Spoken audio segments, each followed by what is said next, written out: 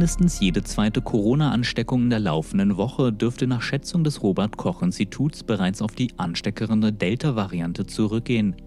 Der Anteil von Delta an einer Stichprobe aus dem Zeitraum 14. bis 20. Juni beziffert das RKI in einem Bericht vom Mittwochabend mit rund 37 Prozent.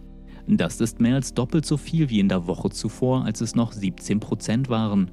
Insgesamt setzt sich damit der deutliche Zuwachs des Delta-Anteils seit Ende Mai weiter fort. Die 7-Tage-Inzidenz ist in Deutschland zwar rückläufig, Fachleute befürchten jedoch eine Trendumkehr mit zunehmender Delta-Verbreitung.